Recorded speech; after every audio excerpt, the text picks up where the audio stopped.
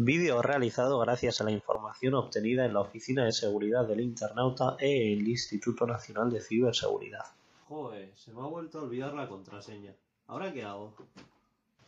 Si alguna vez te has visto en esta situación, te vamos a indicar cómo evitar este problema. Para ello, debemos de saber que existen dos tipos de cuenta que explicaremos más adelante.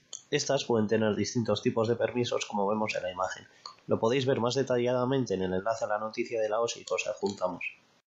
Las cuentas de usuario Microsoft son las que el nombre de usuario es una dirección de correo.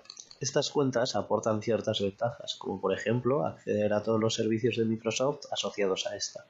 Si necesitamos restablecer la contraseña, buscaremos esta opción en la web de Microsoft y seguiremos sus pasos. Después de esto, podremos pedir que nos envíen un código de seguridad a la cuenta asociada a la que queremos recuperar. Ahora solo nos queda introducir el código de seguridad recibido y restablecer la contraseña de nuestro correo. Las cuentas de usuario local funcionan únicamente en nuestro equipo, por lo que su gestión es responsabilidad exclusiva del propietario.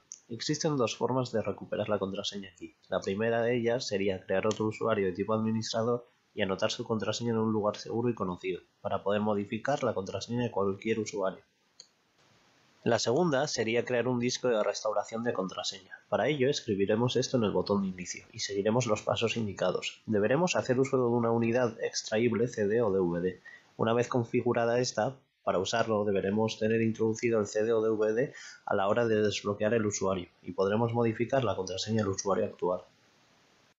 Por último, cabe mencionar que existe software ajeno a Microsoft para recuperar la contraseña de un usuario, como podría ser Lace Soft Recovery.